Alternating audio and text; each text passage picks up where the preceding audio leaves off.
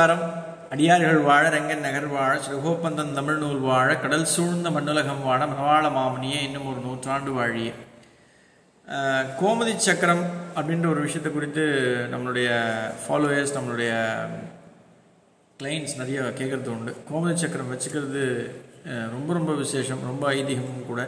எப்படி வைஷ்ணவ குடும்பத்தில் வந்து அந்த காலத்தில் வந்து ஒவ்வொரு குடும்பத்திலும் சாலகிராம் அப்படின்றது இருந்ததோ வழி வழியாக எப்பயுமே வைஷ்ணவத்தில் வந்து தன் பெண் குழந்தைக்கு கல்யாணம் பண்ணி கொடுக்கும் பொழுது சாலகிராமம் கொடுத்து அனுப்புவாள் இது வந்து ஒரு வழக்கமாக இருந்தது. அதே போல் இப்போ நீங்கள் ஜென்ரலாக பார்த்தீங்க அப்படின்னா இந்த குஜராத்தி ஃபேமிலிஸ் உத்தரப்பிரதேஷ் லக்னோ அந்த வழக்கத்தில் அந்த அந்த ரீஜனில் இருக்கக்கூடிய மக்கள் எல்லாருமே வந்து ஸ்- அந்த கோமதி சக்கரம் அப்படின்ற ஒரு விஷயத்தை வந்து வழிபடுறது ரொம்ப பிரதானமாக இருந்த ஒரு விஷயம். எல்லாருமே கோமதி சக்கரம் கேட்பா அவளுக்கு வந்து இந்த இதனுடைய முக்கியத்துவமும் ஐதீகமும் சொல்கிறது அப்படின்றது வந்து ரொம்ப முக்கியமாக நான் நினச்சேன். இப்போ ரீசெண்டாக அதனால் இது குறித்து ஒரு வீடியோ பண்ணணும் அப்படின்றது எனக்கு ஒரு ரொம்ப நாளான தாட் உண்டு. அதுக்காக தான் இந்த வீடியோவே பண்ணுறேன் ஆக்சுவலாக சப்தமோக்ஷபுரியில் ரொம்ப முக்கியமான ஒரு இடம் வந்து துவாரகா. துவாரகா அப்படின்றது வந்து நம்ம குஜராத்தில் கடைசியில் இருக்கக்கூடிய இருக்கக்கூடிய இடம். அங்கே தான் வந்து கோமதி ஆறு போய் கடலில் சேரும். அங்கே தான் வந்து கண்ணபிரான் வந்து ஆட்சி புரிஞ்சதாக ஐதீகம் உண்டு உண்மையும் கூட. அவர் விஸ்வகர்மாவுடைய உதவியோடு நான் இங்கே விஸ்வகர்மான்னு நான் ஒரு ஸ்பெசிஃபிக்காக ஒரு வார்த்தை சொல்கிறேன் அப்படின்னா அதில் ஒரு சூட்சமம் உண்டு. வாஸ்துக்கும் அதுக்கும் சம்பந்தம் இருக்கிறதால நான் அந்த வார்த்தையை சொல்கிறேன் அந்த அரண்மனையை கட்டி அவர் அந்த அவர் இருப்பிடம் அவர் அவர் உட்கார்ந்து அந்த அரண்மனையில் ஆட்சி புரிந்த இடத்துல வந்து அவருக்கு வந்து இந்த கோமதி சக்கரத்துடைய சுழலில் தான் வந்து சூழ்ச்சியில் தான் வந்து சுழற்சியில் தான் அவர் வந்து ஆட்சி புரிந்ததாக ஐதீகம். அது உண்மையும் கூட. அந்த மாதிரி ஆட்சி புரிந்ததால் தான் நேர்மையும் உண்மையும் இருந்ததாக இன்றைக்கும் பேசப்படுகின்ற ஒரு விஷயம். அந்த மக்கள் இந்த கோமதி சக்கரத்துடைய வழிபாடு இருந்ததால் மிக மிக சிறந்த நேர்மையான உண்மையான சந்தோஷமான சௌபாகியமான வாழ்க்கையை வாழ்ந்ததாக இன்றைக்கும் எழுதப்பட்டிருக்கிறது. நான் ஏற்கனவே சொன்ன மாதிரி அந்த மக்களுக்கு நம்ம எப்படி வைஷ்ணவத்தில் வந்து சாலகிராம் கொடுத்து அனுப்புகிறோமோ நமக்கு ஒரு பொக்ஷமாக நம்மளுடைய பெண் குழந்தைகளுக்கு கல்யாணம் ஆகி போகும்போது அவளுக்கு வந்து கோமதி சக்கரம் அப்படின்ற ஒரு விஷயத்த வந்து கொடுத்து அனுப்புவோம். அது வந்து நம்ம ஸ்ரீ கோமதி கல்லுன்னு சொல்லுவா நாராயணன் கல்லுன்னு சொல்லுவா பாரகா கல்லுன்னு சொல்லுவா இது எல்லாமே கிருஷ்ணருடைய கிருஷ்ணரால் உருவாக்கப்பட்ட ஒரு விஷயம். இது எதுக்கு சொல்கிறேன் அப்படின்னா கோமதி கோமதி ஆறு கங்கையிலேருந்து பிரிந்த பிரிந்து வரக்கூடிய ஆறு தான் அது வந்து கங்கையுடைய கிளை ஆறு தான் வந்து கோமதி ஆறு. அதிலிருந்து ஒரு ஆறு பிரியிறது அப்படின்னா அது சரையு. அந்த சரையும் இந்த கோமதியும் ஒன்றாக சேர்ந்து கௌசிக்கை நதியாக போகும் திருப்பி இது பிரிஞ்சு ஒன்றா சேரக்கூடிய ஒரு இடம் அது.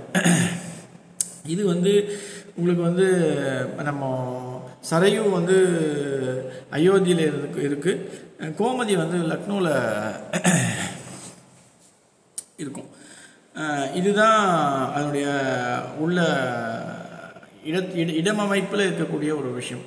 ஆனால் இந்த எல்லா இடத்துலையுமே வந்து ஏன் ஈவன் பாண்டவர்களுக்கே வந்து இந்த கோமதி சக்கரம் கிடைச்சக்கப்புறம் தான் அவன் வாழ்க்கையில் மிகப்பெரிய மாற்றம் ஏற்பட்டு அது வழிபாடுடைய அந்த வழிபா அது கிடைத்து வழிபாடு ஆரம்பிச்சக்கப்புறம் தான் அவன் வாழ்க்கையில் வச்சு அப்படின்றத கண்டா அப்படின்றது வந்து ஒரு ஐதீகமும் உண்டு ஒரு உண்மையும் கூட. ஆகையால் கோமதி சக்கரம் அப்படின்றது வந்து நான் சப்தமோக்ஷபுரியில் வந்து துவாரகா ரொம்ப முக்கியமான இடம் உண்டு. அதுக்கு அந்த துவாரகையில் கண்ணபிரான் ஆட்சி பண்ணார். எல்லாம் சௌக்கியமாக இருந்தா அப்படின்னா அதுக்கு முக்கிய காரணம் வந்து இந்த கோமதி சக்கரம் தான். அந்த சுழற்சி அந்த அந்த அந்த ஒரு um, சூழ்ச்சியாக அழகாக இருக்கும். இது எல்லாத்துலேயுமே நம்மளுடைய வாழ்க்கையில் நம்ம பார்க்க முடியாது பசுமாட்டுடைய um, சூழ்ச்சி அப்படின்றது சுழற்சி அப்படின்றது வந்து uh, அதனுடைய மடியில் இருக்கும் அதனுடைய நெத்தியில் இருக்கும் அதனுடைய um, முதுகில் இருக்கும் uh, அதனுடைய வாலில் இருக்கும் இது மாதிரி அந்த அந்த அந்த அந்த சுழற்சி அப்படின்றது தான் வந்து அந்த கோமதி சக்கரத்தில் இருக்கக்கூடிய ஒரு முக்கியமான ஒரு விஷயம். அந்த சுழற்சி எப்பயுமே இப்போ கோமதி சக்கரம் வச்சு வழிபடுறீங்க அப்படின்னா அது எப்பயுமே வந்து இந்த சுழற்சி வந்து ஆகாயத்தை பார்த்து இருக்கணும். இது வந்து முக்கியமான ஒரு விஷயம். நானும் கோமதி சக்கரம் வச்சு வழிபடுறேன் அப்படின்றது வந்து ஐதீகம் இது முக்கியம் கிடையாது.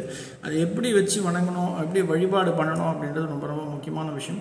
உங்கள் வீட்டில் இருக்குது அப்படின்னா கோமதி சக்கரம் அதை வந்து அந்த சுழற்சி அந்த விஷயம் வந்து ஆகாயத்தை பார்த்து வச்சு அபிஷேகம் பண்ணி அதாவது முடிஞ்சால் பசுமாட்டில் பசுமாட்டு பாலில் அபிஷேகம் பண்ணுறது அப்படின்றது ரொம்ப ரொம்ப முக்கியமான ஒரு விஷயம். இது வந்து ஆக்சுவலாக எங்கே உருவாடுது அப்படின்னா நம்ம லக்னோவில் வந்து நூற்றி எட்டு நூற்றி ஏழு மைனவ திவ்ய தேசங்களில் நைமிசாரண்யம்னு ஒரு இடம் உண்டு. அந்த பெருமாளுடைய சக்கரம் விழுந்து இந்த கோமதி நதி அதோட கூட போய் பட்டு அங்கே உருவாகிற ஒரு விஷயம்தான் வந்து இந்த கோமதி கோமதி சக்கரமே. இது சொல்லும் பொழுதே வந்து ஒரு பெரிய எனர்ஜி இருக்குது எனக்கு. என் கையில் அப்படியே புல் அரைச்சி போடுது ஒரு அந்த நைமி சாரண்யம் அப்படின்னு சொன்னாலே பெருமாளுடைய அந்த ஒரு மிகப்பெரிய ஒரு சக்தி வருது கண்ணே கலங்குறது. அந்த அளவுக்கு சக்தி வாய்ந்த ஒரு இடம் நைமிசாரண்யம் பெருமாளுடைய சக்கரம் விழுந்து அதாவது சித்தர்களுக்கு ஒரு வழிபாடு செய்யக்கூடிய ஒரு இடம் நல்ல இடம் காண்பித்தது தான் இந்த கோமதி சக்கரம். இந்த கோமதி சக்கரம் அப்படின்றது வந்து வீட்டில் இருக்குது அப்படின்னா எல்லா சௌக்கியமும் சௌபாகியமும் வந்து சேரும் அப்படின்றது தான் ஐதீகம். இதுதான் உண்மையும் கூட. இல்லாதவா அதை வாங்கி வச்சுக்கிறது ரொம்ப நல்லது. இன்றைக்கி உங்களுக்கே தெரியும் துவாரகா எவ்வளோ சிறந்து விளங்கின இடம் அப்படின்றது எல்லா வளங்களையும் பெற்று இருந்த இடம். நம்ம துவாரகை அது கிருஷ்ணர் கண்ணபிரான் ஆட்சி புரிந்தாலும் அந்த மக்கள் வந்து கோமதி சக்கரத்தை வச்சு வழிபட்டார் இது எதுக்கு நான் கோமதி சக்கரம் சிம்பிளாக பெருமாள் வந்து மக்களுக்காக சௌக்கியத்தையும் சகல செல்வங்களையும் கொடுக்கறதுக்கு இந்த மக்களுக்கு கிடைக்கணும் அப்படின்றதுக்காக கிருஷ்ணர் வந்து நான் சொன்ன மாதிரி அவருடைய சக்கரத்தை சிக்க சக்கரம் விழுந்து ஓடி கோமதி நொடியோடு கோமதி நதி நதி நதியோடு கலந்து அந்த துளிகள் கலந்து இந்த கோமதி சக்கரம் உருவானதா ஐதீகம் அந்த சக்கரம் ஒவ்வொரு வீட்லையும் இருக்குது அப்படின்னா நிச்சயமாக வந்து நான் சொன்ன மாதிரி ஏழு சப்த மோட்சபுரிகள் நான் சொன்னேன்ல. அதாவது எதுனா அயோத்தி மதுரா காசி காஞ்சி அவந்திகா அவந்திகா தான் உஜயினி அப்புறம் துவாரகா. இந்த ஏழு இடத்துக்கும் போய் நம்ம வந்து பெருமாளை சேவிச்சதா ஈஸ்வரனை சேவிச்சதா ஐதீகம். கோமதி சக்கரம் தேவைப்படுறவா அவசியம் கேட்டு வாங்கிக்கோங்க. இது இருந்தது அப்படின்னா இது மிகப்பெரிய ஒரு சக்தி. நம்ம ஹிந்து மதத்தில் கோமதி சக்கரம் ஒவ்வொரு வீட்லேயும் இருக்கிறது நல்லது. எல்லா சுகத்தையும் எல்லா வளத்தையும் கொடுக்கக்கூடிய ஒரு வல்லமை உண்டு கோமதி சக்கரத்துக்கு. நன்றி. ஆழ்வார் ஆச்சாரியன் எம்பெருமானா ஜீய திருவடிகளே சரணம் ஆண்டாள் பிச்சொக்கலிங்கம் திருவடிகளே சரணம் சரணம் சரணம்.